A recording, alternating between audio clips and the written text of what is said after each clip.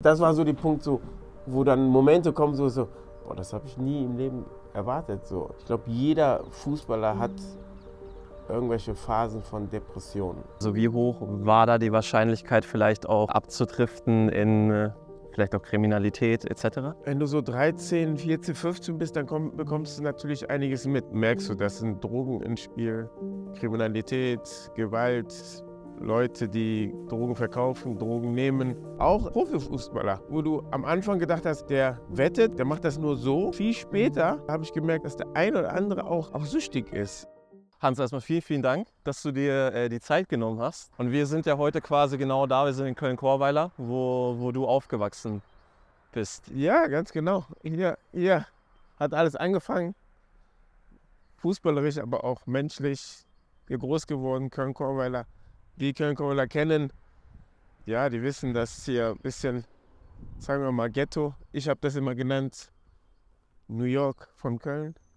Hat so ein bisschen diese Hochhausweise. Ja, ganz genau, deswegen. Aber sieht nicht so schön aus wie New York, ne? Aber ja, ganz genau. Mit wie vielen Jahren bist du hierher gekommen? Mit drei Jahren nach, nach Köln. Okay, von Ghana. Von Ghana. Erstmal, erstmal sind wir nach Nippes, dann hier nach Korweiler. Und dann, bis, bis ich 20 war, war ich, glaube ich, hier. Hier Okay. meine ganze, ganze Freunde, mit denen ich aufgewachsen bin. Man sieht einfach aus den Hochhäusern, ne? Das ist Ja. Vermutung, viele Kinder. Das bedeutet, davor war, konntest du viel spielen, Fußball zocken, aber auch andere Sachen, wie mit Mädels ähm, Seilspringen, Verstecken spielen. Und das hat das hier ausgemacht. Das war sehr schön. Du hast ja gerade schon so erwähnt, das ist so ein bisschen Ghetto. Ich komme aus dem Dorf, also ich bin halt ganz anders aufgewachsen. Wie ist das so, wenn man hier aufwächst? Ach ja, ähm, ich, ich würde jetzt eben sagen, wenn man, wenn man klein ist ne, Mhm. oder jung, dann ähm, bekommt man das ja nicht so mit. Man, man, man, man lebt, man, das Schöne ist, man hat Kinder, man spielt miteinander und, und, und man merkt nicht so, dass, oder man sagt, Betonsiedlungen, ich, ich habe es immer gesagt, Arbeitersiedlung. Korweiler hat sich nochmal entwickelt. Ich glaube, hier in der Zeit, wo ich groß geworden bin, die, die meisten, die hier gearbeitet haben, die, die Eltern, die haben alle bei Ford gearbeitet oder mein Vater bei 4711 und alle waren Arbeiter. So, aber eben nicht ähm, vom Geld her, Gehalt ja hier oben, sondern mittel oder auch weiter unten. Und ähm, das hast du gemerkt schon. Und hier waren natürlich, ähm, wir waren Multikulti, wenig, wenig Deutsche, aber sonst ähm, alle Nationen. Und das hat uns, glaube ich, auch geprägt und das Miteinander. Hier konntest du rausgehen und du kanntest jeden. Jeder hat dich so ein bisschen auch beschützt. Ich glaube, wie du gerade gesagt hast, ne, wenn du so im jungen Alter bist, sage ich mal, ne, so sechs, sieben Jahre, dann nimmst du das ja gar nicht wahr. Ja. Wie war das dann so, als du so älter wurdest, so 13, 14? Also wie hoch war da die Wahrscheinlichkeit vielleicht auch, sage ich mal, abzudriften in äh, vielleicht auch Kriminalität etc.? Wenn du so 13, 14, 15 bist, dann komm, bekommst du natürlich einiges mit. Und dann ähm, komm, merkst du, das sind Drogen ins Spiel, Kriminalität, Gewalt, Leute, die Drogen verkaufen, Drogen nehmen, ähm, Gangs, die Leute abziehen Das und so. Und du kennst die Leute natürlich, du bist mit denen groß und ähm, weißt, was, was der eine oder andere macht. Und, aber ist ja Alltag einfach. Du, du nimmst das einfach so mit. Aber was war, was, was glaubst du, war so der ausschlaggebende Punkt, dass du halt nicht dahin abgedriftet bist? War das wirklich der Fußball, weil du dich irgendwie damit beschäftigt hast? Ja, natürlich, das war der Fußball. Fußball hat mich schon ähm, abgehalten, ähm, mit Leuten einen falschen Weg zu gehen, in Kriminalität oder Blödsinn zu machen. Einfach mit denen vielleicht auch abzuhängen. Gar nicht vielleicht das zu machen, aber einfach schon dabei zu sein. Ich glaube, das, das hat der Fußball geschafft, weil ich dann eben ähm, auf Training hatte und ähm, unterwegs war, Wochenende Spiel, dann nicht, nicht in ähm, Feiern gegangen bin, nicht in Diskotheken gegangen bin oder in der Woche eben abends dann mit der Bahn nach Fort Neal oder ähm, Victoria Köln, wo ich gespielt habe, gefahren bin und dann abends erst wiedergekommen bin. Das hat mich schon ähm, davon abgehalten, viel Blödsinn zu machen, auf jeden Fall. Ähm, dann kommst du gar nicht in Versuchung. Ähm, man sieht es auf deinem Hoodie ja schon. Wir sind ja jetzt nicht ohne Grund heute zusammengekommen. Du bist ja das äh, Gesicht bzw. Partner von GamesRide. Kannst du mal ganz kurz den Leuten erklären, was äh, GamesRide, was es damit auf sich hat?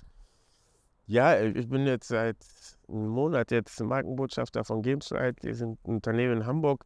Es geht darum, ähm, Menschen ähm, zu unterstützen, die bei Online-Wetten ähm, Gelder verloren haben. Online-Wetten geht ja viel auch in Sucht rein. Ja. Und die haben dann ähm, ihr Geld verloren, aber nicht nur das Geld, auch ein Teil ihres Lebens.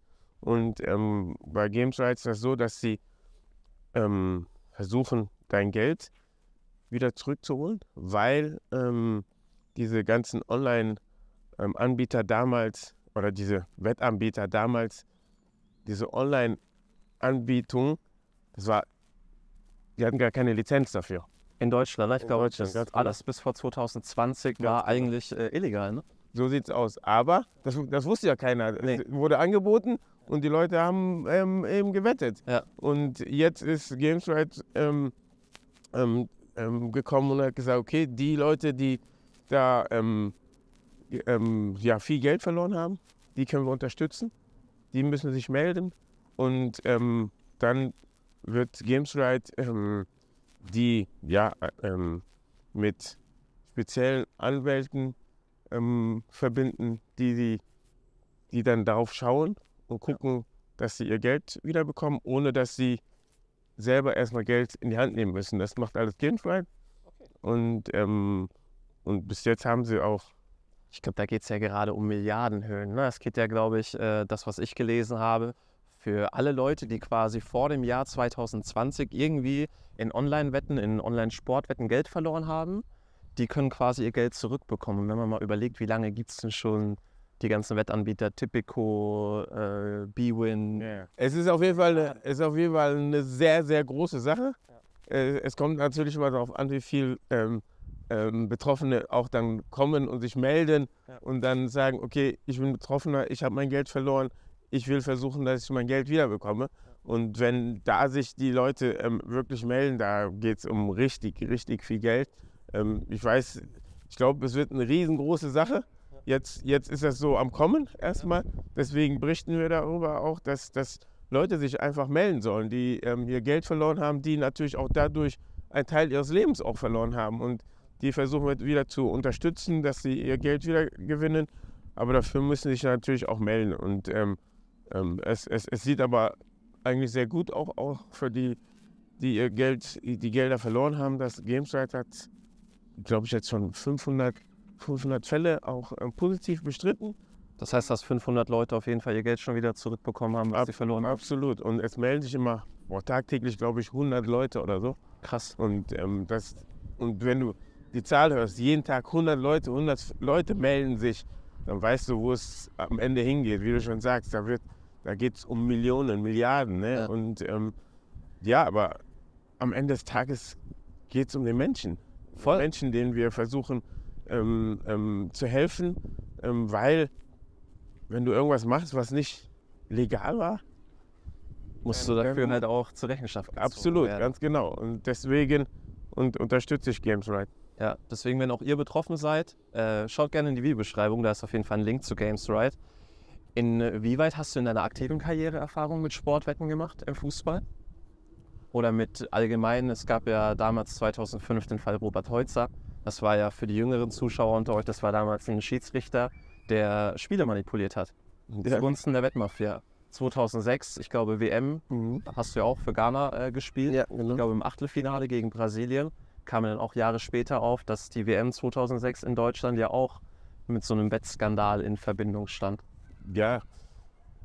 Da, da, damals war ich ja noch aktiv, ne? so als Spieler und ähm, so auch hier in Chorweiler. Ne? Du, du hast schon gemerkt, dass viele Leute ähm, auf ähm, Fußballspiele Gelder setzen, auch, auch, auch große Summen. Ja. Ähm, aber ich war, ich persönlich, ich war nie jemanden, der, der so dieses Bedürfnis hatte, mein Geld irgendwo einzusetzen und dann zu hoffen, dass irgendjemand anders vielleicht gewinnt, um dann mehr zu bekommen. Deswegen habe ich mich damals auch nie so wirklich damit beschäftigt. Ich habe immer gesehen, die Leute machen das, auch auch ähm, ähm, Profifußballer ähm, sind einzelne, wo, die, wo du am Anfang gedacht hast, der wettet, der macht das nur so und du beschäftigst dich ja nicht damit. Du hörst nur in der Kabine, wo der gesagt hat, ey, ich habe gewettet, ich habe das und das gemacht.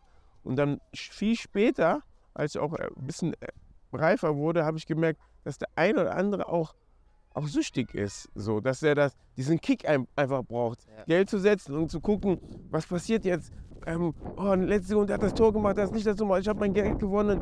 Und dass das echt extrem ist, wie viele Leute auch im Profibereich Gelder verlieren. Ähm, und dann kam ja erst auch der Bereich, okay, Spieler dürfen nicht ähm, wetten. Das kam dann viel, viel später dann Ja, auch, ne? absolut, ganz Ja. genau. In meiner Zeit ganz hat sich keiner damit beschäftigt. Ne? Das kam viel, viel später, dass Spieler nicht, nicht, nicht mehr damit wetten dürfen, weil sie dann natürlich vielleicht auch auf ihr eigenes Spiel setzen können. Schießt Und dann, Elfmeter, Ganz- kannst ganz genau. rote Karte oder so. so, du, kannst ja, du kannst ja auch ganz genau, du kannst ja auch noch viel mehr wetten als nur die Ergebnisse. Es gibt ja auch noch Live-Wetten, wo du sagst, Mit Eck- wer ist die erste Eckball, Ecke, ja, wer ist genau. Einwurf und dann, Ja. wenn du selber spielst, kannst du das ja ja, natürlich auch Spieler haust du den Ball ins äh, Eck Ganz genau. Ja. kannst das ja beeinflussen. So, ne? Und da habe ich schon einen, einen, einen oder anderen gesehen, dass der schon auch in diesen Sumpf gegangen ist. Und ich glaube, dass, dass das Problem ist, wenn du, ähm, wenn du alkoholsüchtig bist, dann sehen die Leute das und dann sagen die, okay, du musst eine Therapie machen und so. Und bei Spielsucht, das sieht man nicht so. Ja. Und keiner, keiner fühlt sich betroffen, denen zu helfen. Die, da, und ich glaube, das ist so, was die Gesellschaft ähm, einfach mitbekommen muss, dass sagen, ey, wir müssen denen, die unterstützen, die denen helfen, ähm, dass sie da rauskommen und auch gar nicht da reinkommen. So, man sieht nur den Fußball immer, Fußball schön und alles, was dahinter ist, ähm, vergisst man. Und ähm, da ist Games halt auch nochmal ähm, ganz wichtig, dass sie das nochmal ähm, durch diese ganze Welle wird dann natürlich eine große Aufmerksamkeit auch drauf kommen. Hans, wir sind angekommen an meiner alten Wirkungsstätte Und und, meine an, auch. an deiner alten Wirkungsstätte. genau. Wir sind hier bei Fort Neal. Hier hast du in der Jugend, wir haben gerade schon mal gequatscht, hast in der Jugend fünf Jahre gespielt. Ja, genau, hier in der Jugend gespielt, aber das war so E, D und C-Jugend. Ja. So, also die Anfänge, so die Basics habe ich hier gelernt. Es ist eine schön, schöne Erinnerung, immer wieder hier hinzukommen Ja. und das zu sehen, aber damals sah es noch ein bisschen anders aus. Hier ist mittlerweile ist eine geile Anlage, ne? Also zwei Kunstrasenplätze, irgendwie alles neu gemacht. Aber du hast gerade gesagt, damals war hier alles noch Asche und Damals war alles noch Asche, alles Asche, dreckig. Hast du nach, nach, nach dem Training, wenn es geregnet hat, hast du eine schwere Tasche gehabt, weil du die ganze Asche in der Tasche hattest und so. Aber jetzt, wenn du das siehst, für Kinder, ne, Jugendliche. Sieht, sieht richtig geil aus, hast zwei Kunstrasenplätze, hast so einen kleinen ähm, Zockerplatz da noch mit kleinen Toren und so. Für, für jeden Fußballer, jetzt, jetzt blüht, das, blüht das Herz. mein Herz blutet jetzt gleich, weil, ich habe gerade schon gesagt, ne, ich habe mir vor zwei Jahren hier das Kreuzband gerissen und ich war seitdem ei- nicht einmal auf dem Platz. Echt? Nee. Auf gar keinen Platz, auf oh, nee, diesen Platz. Nicht auf dem Platz hier. Also schon Warum? Es ist schon so vom, vom Kopf her irgendwie. Boah, ich glaube, bei mir war damals, hattest du Verletzungen in deiner Karriere? Irgendwie große? Nee, Ich hatte ähm, zwei Operationen, Innen- und Außen, Meniskus und Knorpelschaden. Wie war es für dich? Also für mich ist jetzt halt so der Punkt gewesen, als ich das hatte nach der OP, so ist alles wieder gut. Ne? Ich mache ja auch Sport, gehe viel laufen und so. Aber vom Kopf her, auch wenn ich jetzt so hobbymäßig Fußball spiele, es ist anders. Ich gehe anders in die Zweikämpfe, ich bin viel vorsichtiger und ich bin nicht mehr so frei. War es bei dir damals auch so? Boah, ähm, ich glaube am Anfang, ja. Ja. Ich glaube, bei mir war es so, ich habe, wenn du das erste Mal besonders am Knie dich verletzt, Knie ist das Schlimmste, was es gibt. Mhm. Ne? Das muss man sagen, echt, Knie ist das Schlimmste, was es gibt. Und dieses, dieses Zurückarbeiten, diese in der Reha dich ähm, wieder so ganz von Anfang so normale Stabi-Übungen zu machen, wo dein Knie dann am Zittern ist und so. Und dann irgendwann sagen die so, ey, das geht wieder von der Muskulatur und du dann anfängst so das erste Mal wieder zu laufen, dann hast du schon Panik. Ne? Du hast einfach Angst, dass das wieder passiert. Und dann ist das am Anfang so, okay, den Zweikampf, okay, gehe ich dahin, gehe ich nicht dahin, dann gehst du ein bisschen weg, du schonst Ja, dich ja. so in der Du Richtung. vertraust halt auch nicht mehr auf dein Knie so 100 Prozent. Ja, ganz genau. Aber danach irgendwann musst du ja. Ja. Und besonders im Profibereich, dann musst du ja wieder den Punkt erwischen, wo du sagst, ey, ich muss dazwischen gehen, ich muss da reinhauen. Und dann ist es, glaube ich, meistens so, in dem Moment, wo du nicht dran denkst und dann gehst du dahin und dann denkst du so, ey, Hält. hält, alles super. Ja. Dann, dann bist du drüber hinweg und dann geht es eigentlich weiter. Und dann gibt es, glaube ich, nur Momente, wo du manchmal dein Knie, in, es gibt ja so 50-50 ähm, Bälle, Mhm. wo du dann vielleicht hingrätschen musst und dann, du weißt ganz genau, dein Knie wird so überdehnt so und da hast du dann ein bisschen noch mal manchmal Angst Ja. und so. Dann gehst du nicht mehr hin, wie du schon gesagt hast, wie ganz, ganz am Anfang, wo du noch nie verletzt warst. Ja. Damals bist du dann einfach so blind Blind rein. voll reingegangen und jetzt machst du so, ah, Ja. dann weißt du die Situation, was passieren kann und dann bremst du vielleicht ein bisschen ab. Ja, ich glaube, jeder Fußballer da draußen kann das auf jeden Fall nachvollziehen. Aber hier, wir sind jetzt in Niel. Die erste Mannschaft hier spielt Bezirksliga. Du hast ja gar nicht den klassischen Weg von einem heutigen Profifußballer durchlaufen. Also du hast nie in einem NLZ richtig gespielt. Du bist, glaube ich, dein erstes Bundesligaspiel war, als du 25 warst, als du damals zu Wolfsburg gewechselt bist. Ja, Wie kam quasi so der Schritt, sage ich mal, hier von Fort Niel in den äh, Profifußball? Boah, langer Weg, ne? Ich habe, wie ich gesagt habe, Fort Nil war ja noch echt EDC-Jugend, dann ist man immer noch jung, ist man 12, 13 und von hier bin ich dann, eigentlich, bei mir ging es immer so, der nächste Step, der nächste Step, der nächste Step. Es war nicht so wie heute, ich bin in NLZ, spiele beim FC oder Leverkusen ganz durch und, und dann ist irgendwann der Weg irgendwie vorbereitet, okay, du wirst Profi. Es war eher so, dann bin ich zu Viktoria Köln, wieder der nächste Step, so ein bisschen unter FC, unter Leverkusen, haben die in der Liga bekämpft und, und dann kommst du irgendwann Jugend vorbei und musst in den Herrenbereich. Und damals war es ja nur so, gab es erste Bundesliga, zweite Bundesliga. Und Regionalliga. Dann, nee, nee, gar nicht, dann Oberliga. Oh, okay. Oberliga gab es da. Oberliga war die höchste Amateurklasse, die es gab. Und das war auch nicht professionell, da war, hast du dreimal in der Woche trainiert oder viermal die Woche und dann Wochenende gespielt. Hat man da schon Geld verdient in der Oberliga? Da hast du schon Geld ge- bekommen, aber das war dann ein bisschen an der Steuer vorbei. So, Hand So, so, so, so Dreck in die Tasche rein. Ja. So, da hast du schon ordentlich verdient in, der, in dem Bereich.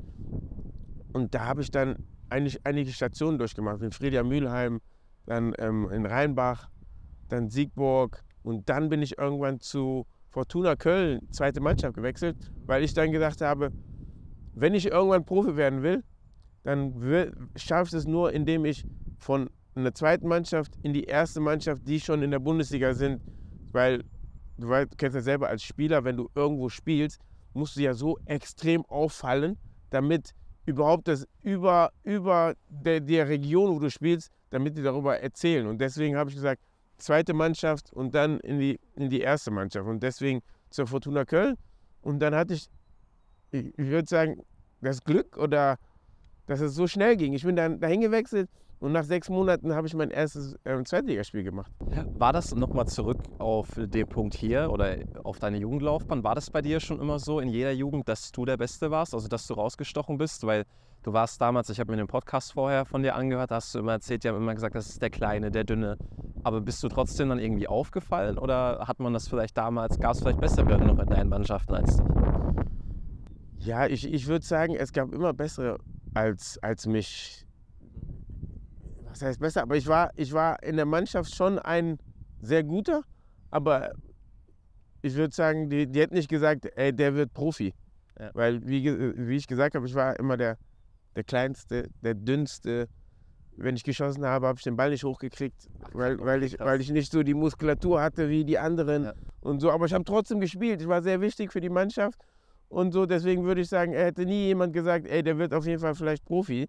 So und es war, gab es andere Spieler, die schon auf ein Level waren, wo du gesagt hast, ey, der wird bestimmt, der wird 100% Profi. Da, da war ich gar nicht so vorne dabei. So. Aber ich glaube, es, es hat sich einfach ähm, entwickelt, dass ich, ich musste mich immer durchkämpfen.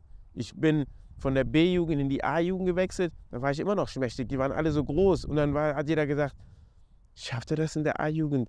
Boah, vielleicht muss er vielleicht wieder den Verein wechseln, weil der zu klein ist. Und ich habe es dann trotzdem geschafft. Ich habe trotzdem ähm, bin Stammspieler geworden. Am Anfang auf der Bank gewesen, habe mich dann wieder reingekämpft.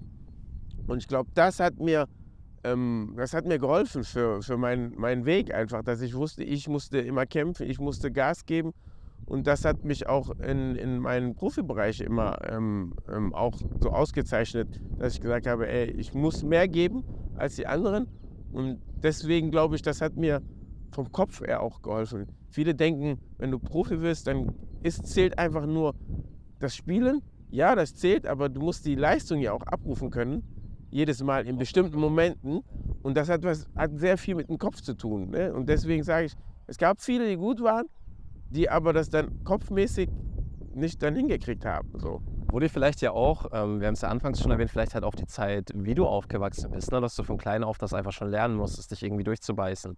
Ja, ja, vielleicht absolut. auch so dieser, dieser, dieser Kämpfer einfach zu sein, wie du vorhin gesagt hast. Auf der Straße ist es nicht so, dass du weißt, ey, das sind deine Teammates, du kannst darauf vertrauen. Du bist immer auf dich alleine gestellt. Und vielleicht, ich glaube immer so daran, dass alles aus einem Grund passiert. Und vielleicht war das so, dass du das so früh lernen musstest, hat dir vielleicht dann später in deiner Karriere super krass geholfen. Ja, dass du das ansprichst, ist, ist auch, finde ich auch gut. Auf jeden Fall. Und ich glaube, dieses, dieses Abschalten, was ich ähm, dir erzählt habe, du bist in Chorweiler und bist mit der Jungs, bist mit den Gangs, bist Dings und dann aber umswitchen von, ich habe jetzt ein Spiel und der Fokus ist jetzt nur das Spiel. Ich bin hier und ich bringe jetzt meine Leistung. Das hat mir super viel geholfen. Dieses, dieses, weil wenn du auf dem Platz bist, im Stadion, 60.000, dieses Ausblenden und sagen, ey, ich muss fokussiert sein, nur für dieses Spiel. Ja. Das war, das war, das konnte ich, das konnte ich so. Und, oder ich habe nicht gespielt und jetzt kriegst du deine Chance und jetzt musst du abliefern. Das war so bei mir, was ich zu 100 Prozent konnte, was, was, was so mein Plus war, das wo der Trainer sich immer auf mich verlassen konnte. Da fährt die Bahn, ne? Ja. Mit der Bahn bin ich immer hingekommen. Ich auch. Wir waren so. Und dann sind wir hier, da haben Durch wir den- durch den den Zaun, Bahn- ja. Zaun hier so. Ich sagte, ich bin einfach zu spät zum Training gekommen und dann damit dann den Weg entdeckt. Da habe ich gesehen, da ist ein Loch im Zaun. Ja, genau. Und dann mit Tasche schnell durchgegangen bin, da musste ich komplett außen rumlaufen. Ne? Absolut, ganz genau. Ja, witzig. Durch. Aber Aber das Loch im Zaun gibt es immer noch. Also, Echt? Ja, war das auf jeden Fall Okay. immer noch da. Das war ja, du bist nie alleine gegangen, weil du war dunkel. Ja. Du bist dann so mit mehreren Leuten da durchgegangen, weil du warst halt ein bisschen Swing Hier müsste auch irgendwo noch ein Oberteil, so ein Nike-Oberteil von mir liegen. Ich habe das einmal beim Training auf die Bank getan, weil ich habe das nie wieder gefunden. Glaubst du, die haben das hier gelassen? Ja, irgendwo. gesagt, Du kommst nach zwei Jahren wieder und holst Und dann, das ab. stell dir mal vor, es wird jetzt hier liegen. Aber wie kam dann damals der, der Sprung von äh, Fortuna Köln, zweite Mannschaft, in die, in die erste Mannschaft von Fortuna Köln? Fortuna Köln, zweite Mannschaft, war jetzt nicht so gut. Die waren in der Landesliga. Hm. Und ich habe eigentlich immer. Und die erste Mannschaft die damals? erste war in der zweiten Bundesliga. Okay. Und ich bin dann praktisch von der Oberligamannschaft in die Landesligamannschaft zwei, zwei Klassen runtergewechselt, wo alle die Chance, einfach zu sehen, vielleicht irgendwie den Weg in die Zweitligamannschaft. Ganz, ganz genau. Und alle haben gesagt, warum machst du das? Ey? Du spielst Oberliga, warum gewechselt? Hab ich gesagt, das ist einfach meine Chance so. ähm, Gib mir zwei Jahre selber die Zeit. Wenn es klappt, klappt. Wenn nicht, habe ich nichts verloren. Dann bin ich immer noch, war, ich war ja jung, 22, habe gesagt, dann wechsle ich wieder in die Oberliga. Das ist jetzt nicht das Ding. Und das war schon die Bedingung, dass ich oben mittrainieren darf. Mhm. Aber so eine Bedingung kannst du nicht stellen. Ne? So, die, die sagen du- zwar ja, Wenn du aber Leistung bringst, dann machst du Genau das, so. aber wenn du jetzt spielst, irgendwie wie. Ganz genau, dann wirst du da nicht Ja. mittrainieren. Und das war dann so, dass ähm, ich war ja nicht, ich war nicht der Einzige. Da kamen welche von bei Leverkusen A-Jugend, die waren auch bei der zweiten Mannschaft, die hatten auch das, das, so das, das, das Verständnis, okay, gehe in die zweite Mannschaft, dann kann ich in der ersten ein Ja. bisschen mittrainieren. Und da waren wir mehrere Spieler, wo wir dann mal mittrainieren durften, durften den Leistungstest mitmachen, wo wir ähm, ähm, den Sprinttest machen mussten und dann aber auch äh, hier, ähm, wie, wie, ist ja nicht der Cooper-Test, aber sondern Laktat. Laktattest. Den habe ich immer geliebt, den Den Laktattest. hast du mit, mit Felix zusammen gemacht, ne? Vor kurzem bei, bei Rot-Weiß Essen, Sandro, ne? Habt ihr den gedreht? Laktat- Laktattest, den habe ich immer geliebt. Bis wie viel kmh bist du gekommen beim Laufen, weißt du das? Ich muss sagen, ich war beim Laktattest im Nachhinein von, da waren Pro, die ganze Profimannschaft und fünf Amateurspieler. Ich war der Schlechteste. Ich hatte den schlechtesten Wert ever gehabt. Aber wir haben einen Sprinttest gemacht und da war ich der Beste. Was mich jetzt aber interessiert, ähm, Hast ja gerade gesagt, was dann bei Fortuna Köln in der zweiten Mannschaft und dann bist du irgendwann, hatte ich der Trainer, das war damals, war das Toni Schumacher? Toni Schumacher, genau. Hat der Trainer Toni Schumacher dich dann damals hochgezogen? Ja, nee, aber es war so, ich war damals noch auch in der Ausbildung, habe Anlagenmechanik gemacht und habe nicht so die Zeit. Und irgendwann, ähm, ich habe ja dann ab und zu da mittrainiert und dann hatte ich äh, mal drei Wochen Pause von der, Schu von der, von der, von der Arbeit, Ferien, musste nicht. Ah, du hast wirklich eine Ausbildung dann als Ja, genau, also wirklich eine Ausbildung und ähm, hatte frei und dann bin ich zum Training gegangen und habe Toni Schumacher gefragt, ich habe drei Wochen frei, darf ich mittrainieren die drei Wochen? Und der so, ja klar, trainier mit. Und dann habe ich drei Wochen mittrainiert und nach den drei Wochen hat er mich in den Kader mitgenommen. In die zweite Bundesliga. Zweite Bundesliga. Aber ich hatte das Glück, einer hat sich verletzt, einer rote Karte und dann war ich auch plötzlich im Kader. Erstes, erste Mal in Unterhachingen. Mhm. Und dann war ich da so auf der Bank und saß da, die Zuschauer so, guckt so, die haben gesagt, wir müssen euch warm machen, bin ich warm machen gegangen. Ich bin nicht reingekommen, aber war schon ein Erlebnis so. Ja. Und aus diesem Grund hat er, hat er mich dann in Wintertrainingslager gesagt, wir wollen dich mal sehen, wie du, wenn du m, länger mit uns ähm, trainierst, wenn du die Wintervorbereitung mitmachst. Dann bin ich mitgeflogen in die Türkei, habe da ganz normal mitgemacht und dann sind wir wiedergekommen und als wir wiedergekommen, haben die gesagt, ähm, die wollen mir einen Profivertrag geben. Krass. Profi. Und dann war ich so, äh, was mache ich jetzt? Was mache ich jetzt? Äh, soll ich das machen? Soll ich das nicht machen? Weil ich eben die Ausbildung noch hatte, hatte noch ein Jahr und aber dann habe ich mich entschieden, ähm, ja, Den Vertrag den unterschreiben. Vertrag zu unterschreiben. Konnte man damals von dem Geld schon leben? Also kannst ich weiß nicht, ob du es möchtest, aber kannst du sagen, was du da verdient hast bei deinem ersten Profivertrag? Damals war es ja noch D-Mark-Zeiten. Mein erster Profivertrag war 3000 D-Mark. Brutto. Brutto, ja, brutto. Ja. Aber das das ist ein gutes Gehalt. Ja, klar, aber der, der draußen, die Leute denken ja immer, du wirst Profi, ist egal wo, du hast, bist jetzt hast ausgesorgt. Millionär. im Genau, genau. Und, ja. und das war, war es nicht. Und deswegen waren auch die Überlegungen, 3000 D-Mark brutto, ähm, brichst du jetzt einfach deine Ausbildung ab, weil du wei- ich weiß, wusste ja nicht, wie geht der Weg weiter. Ja, so, spiele ich auch regelmäßig oder nicht? Wie, wie funktioniert das? Schaffe ich das überhaupt? Bin ich leistungsmäßig schon so weit? Und dann haben sie gesagt, ja, ich muss es versuchen. Ich, wenn ich das nicht mache, hätte ich mir, glaube ich, mein ganzes Leben äh, Vorwürfe gemacht. Und so habe ich das unterschrieben. Und ab dem Zeitpunkt, als ich das unterschrieben habe, habe ich jedes Spiel gespielt. Und bist dann irgendwann von äh, Fortuna Köln zu MSV Duisburg gewechselt. Genau. Ähm, Fortuna Köln, wir sind leider abgestiegen. Wir sind leider abgestiegen, mein Glück, weil mein Vertrag dann nicht mehr zählte für die dritte Liga, wo wir abgestiegen sind. So war ich ablösefrei und dann bin ich zum MSV Duisburg gewechselt. Die damals in der zweiten oder in der ersten Liga gespielt? Die sind von der Der ersten. Liga in die zweite Liga abgestiegen, ganz genau. Und dann war ich auch wieder in der zweiten Liga, habe da einen Dreijahresvertrag unterschrieben äh, mit einer Ausstiegsklausel. Wenn ein Verein kommt, der mich rauskauft, dann kann ich gehen. Und dann nach einem Jahr hat ist der VfL Wolfsburg gekommen und hat mich da rausgekauft für eine Million D-Mark. Und dann bin ich zum VfL gewechselt und die waren dann in der ersten Bundesliga. Da war dann so das Ziel dann erreicht, erste Ja. Bundesliga zu spielen. Und es war auch nochmal was anderes, weil groß geworden Köln, MSV Duisburg spielt und dann VfL Wolfsburg war schon, war jetzt keine Großstadt, ne?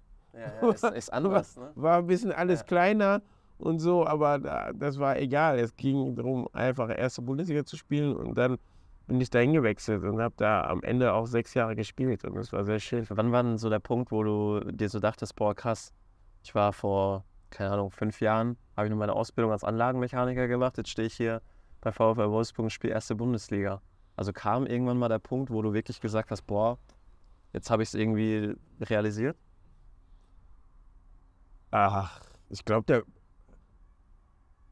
der Punkt war immer da, so weil, egal, au- auch, auch wo ich schon zweite Bundesliga gespielt habe, Fortuna Köln, war schon der Punkt so, boah, krass, ich spiele Bundesliga, ich spiele zweite Bundesliga vor Zuschauern, das, was ich wollte. Zum MS, schon wo ich zum MSV Duisburg gewechselt bin, war es für mich schon krass, weil MSV Duisburg, die haben damals erste Bundesliga gespielt, Das war damals ein großer Verein. Genau, und die wollten wieder aufsteigen und ich spiele da. So, deswegen, jeder Verein, wo ich hingewechselt bin, war für mich was Großes, war für mich immer eine Erinnerung wieder so, von wo ich herkomme und, und auch mit meinen Freunden, äh, mit denen ich groß geworden bin, darüber zu dann immer wieder nachzudenken, darüber zu reden, so, ey, du spielst, du spielst hier, du bist Bundesliga, die, denen Tickets zu besorgen für die Spiele und nach den Spielen die zu treffen und, und, und, und Fans wollen Autogramme von dir.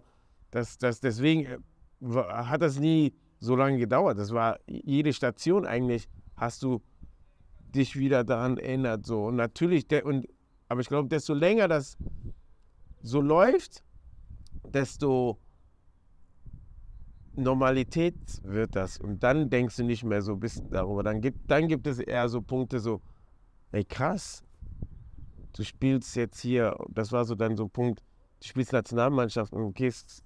Hast du WM gespielt, 2006, 2010. Und dann, das, ist, das war so der Punkt, so, wo dann Momente kommen, so, so boah, das habe ich nie im Leben erwartet, so eine WM zu spielen, bei einer WM dabei zu sein, 2006 gegen Italien zu spielen, gegen Uruguay zu spielen, gegen Brasilien zu spielen das sind so Momente, wo du dann zu Hause bist und realisierst so, was du selber geschaffen hast, was du, wo du auch selber mit dir kritisch bist und sagst so, ey, bist du wirklich so gut, dass du da spielst? Ja. So. Ja. Vor allem, wenn du das genau. dann immer wieder in der Jugend hast, du bist zu klein, genau. du bist zu schmächtig.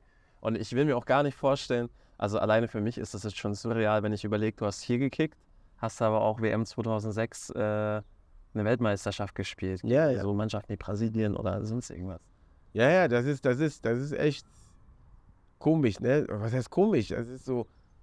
Es du spielst halt hier und danach bist du in einem großen Stadion hast gespielt, wo sich 80.000 Leute anfeuern. So. Das ist, aber das sind, man, man setzt das ja so schnell nebeneinander, aber das sind ja, was, was, was die Leute wissen müssen, das sind Jahre dazwischen. Das sind Jahre, da sind, da ist viel passiert. Das ging nicht nur so, ne? Das ist, das geht, du hast, du hast Höhen, du hast Tiefen, du hast wieder Höhen. Du musst Tiefen haben, damit es wieder hochgeht auch und so. Und das ist kein, ey, alles ist super und es geht so ja. hoch. So. Weil man, man, man denkt das ja so, ne?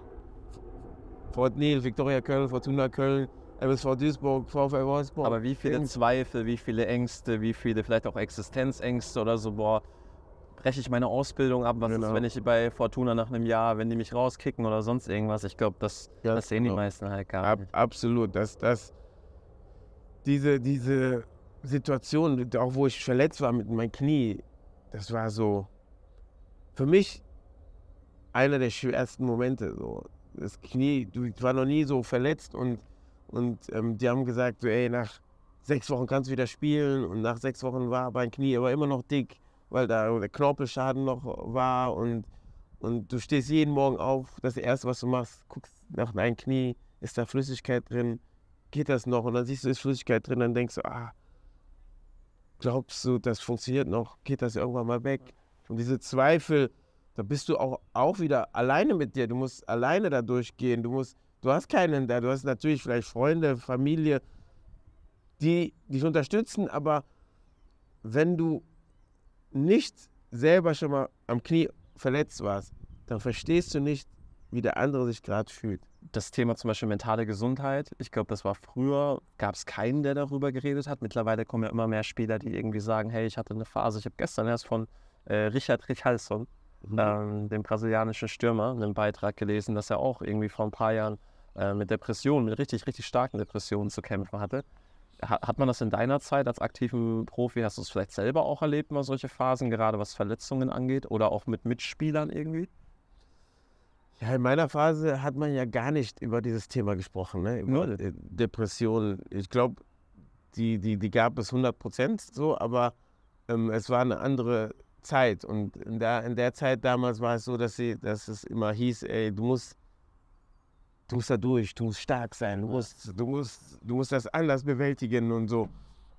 Und, aber ich glaube, ich glaube, jeder, wenn ich jetzt nur im Fußball, Profifußball bin, ich glaube, jeder Fußballer hat irgendwelche Phasen von Depressionen. Jeder, jeder. Das ist, weil jeder hat seine Downs so. Und bei den anderen ist das länger, bei den anderen kürzer. Und ich glaube auch, so jetzt bei mir mit, mit, mit der Verletzung, da gab es eine Phase, wo ich wahrscheinlich Depressionen hatte. aber ich habe das nicht so wahrgenommen. Man hat ja nicht, damals gab es das nicht. Du, du, du kanntest das gar nicht. Du hast es, du hast einfach dann ge, gedacht, du bist einfach schwach gerade oder, oder du musst da durch, du musst, du musst weiter kämpfen, dann, dann, dann kommst du da durch und so. Und ich glaube schon, dass das eine Art von Depression war und ähm, die aber damals nicht besprochen wurde und ähm, wir gar nicht so weit waren.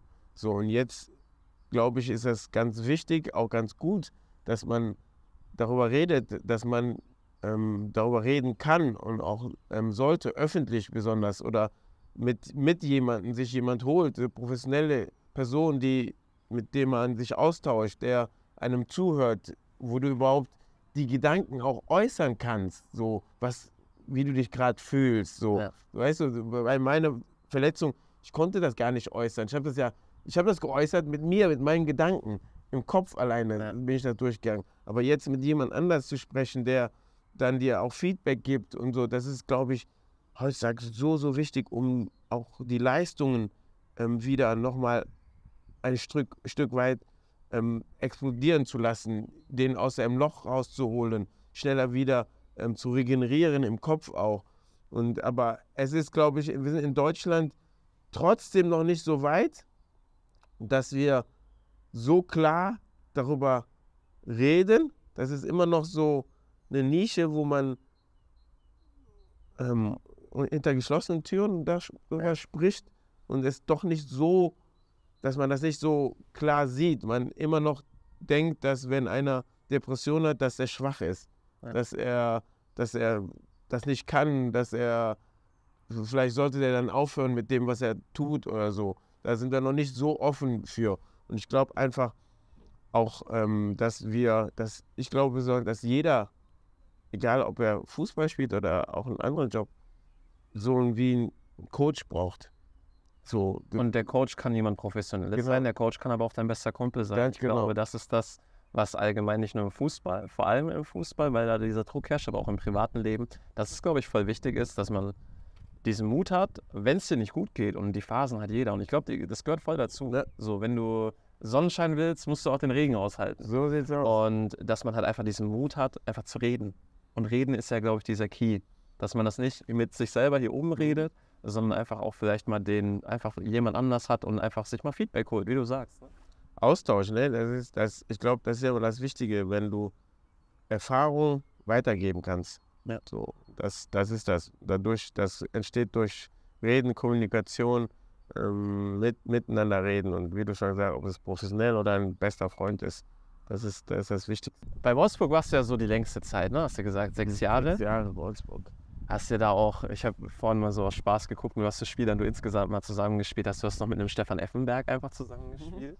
Du hast mit einem Marcelinho Was zusammengespielt. War wahrscheinlich, das war ein Verrückter, oder? Äh, Ein bisschen oh, crazy. Was überragender Spieler, ne? Aber außerhalb, boah, crazy. Hat, crazy. ich habe immer nur so gehört, dass der ja irgendwie in Berlin immer komplett Party gemacht hat, von dem Club direkt zum Training und so.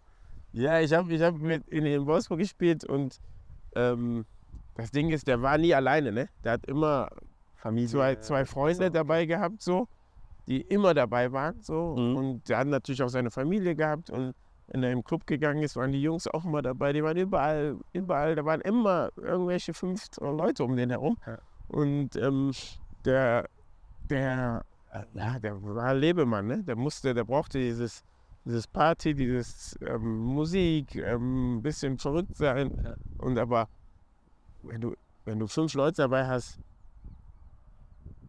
die du bezahlen musst die ganze Zeit, Dass sie mit dir sind. dann Ja. weißt du Bescheid. Ne? Dann- Dann, dann bleibt dein Geld nicht so lange bei dir. Die nächste Station nach Wolfsburg bei dir war Bei Leverkusen. Bayer Leverkusen. Da hast du auch mit dem Toni Kroos zusammen gespielt. Ich habe gesehen, 15 Spiele habt ihr zusammen gemacht. Wie war der damals? Hat, also ist ja, ich würde sagen, wenn nicht sogar der erfolgreichste deutsche Fußballer. Hat man es damals schon gemerkt? Also ist der so rausgestochen bei Leverkusen? Der war ja jung, ne? Er ist Ja. damals von Bayern gekommen, weil er bei Bayern nicht so die Chance hatte, sollte zu Leverkusen kommen, um Spielpraxis zu haben. Hat am Anfang nicht so unbedingt gespielt.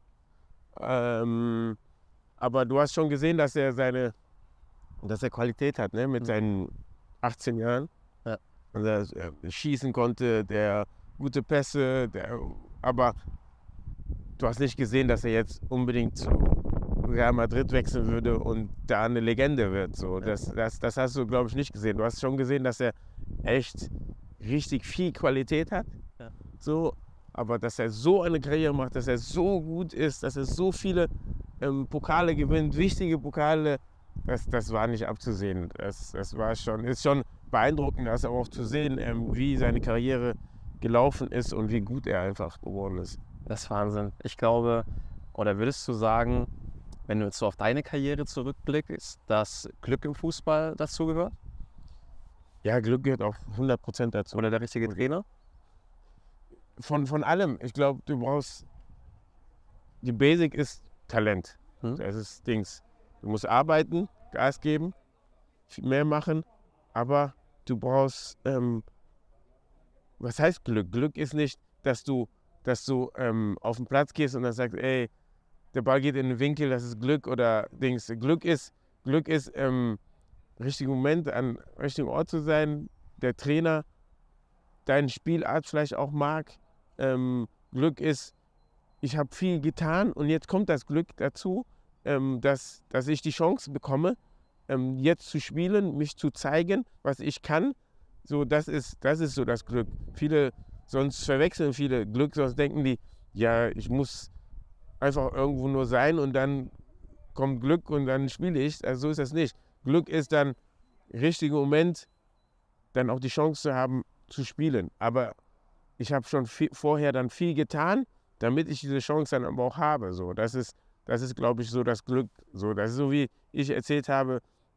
Ich habe dann trainiert bei Fortuna Köln und dann hat einer rote Karte, einer sich verletzt und dann habe ich das Glück gehabt, dann ähm, erst Mal im Kader zu sein. Aber ich habe was dafür getan. So. Und das ist, das ist auf jeden Fall, glaube ich, gehört das dazu, so, so dieses Quäntchen Glück zu haben im richtigen Moment.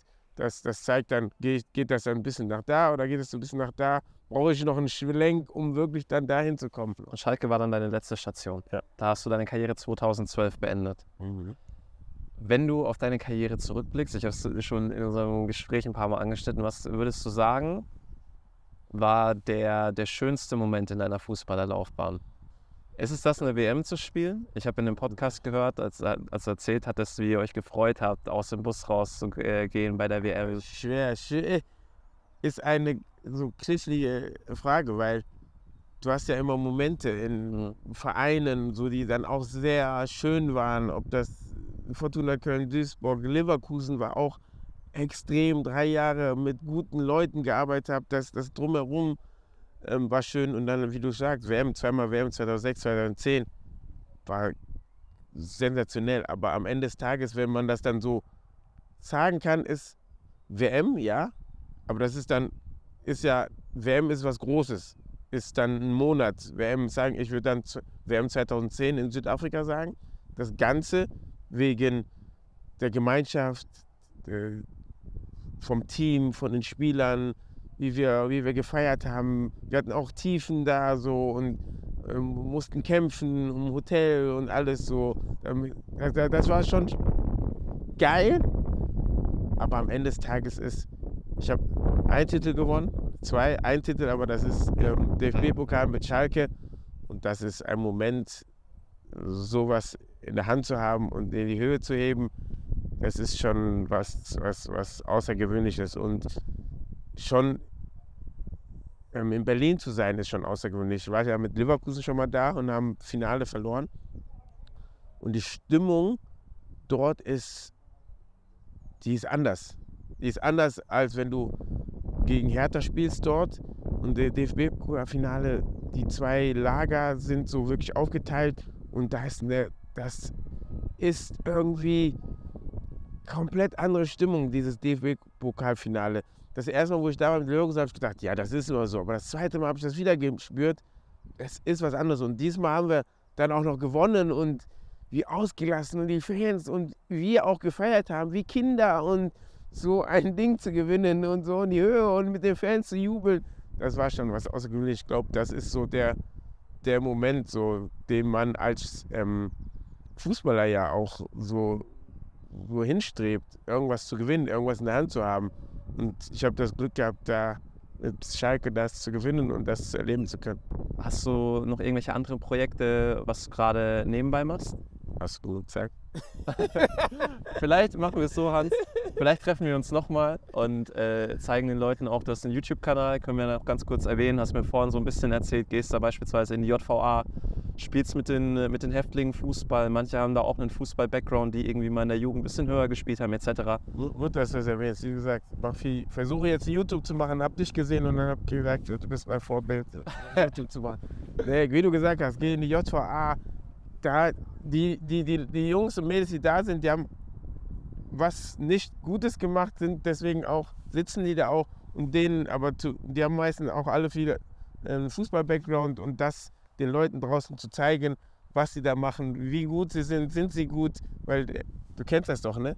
Es gab, gibt immer diese Sportler, Fußballer, die sagen so, wenn ich, ne, wenn ich nicht in diesem kleinen Verein gewesen wäre, dann wäre ich Profi geworden. Und dann ist es das, da gehe ich in die JVA und frage die und dann sagen die mir, ey, ich war früher so gut und dann gucke ich mir das an, ob die wirklich so gut sind und was für Blödsinn sie in ihrem Leben getan haben.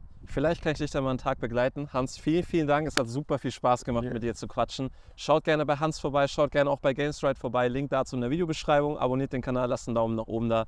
Es fängt an zu regnen und wir machen jetzt, vielleicht essen wir oder wir machen Feierabend. Genau. Peace, peace. Ciao, ciao.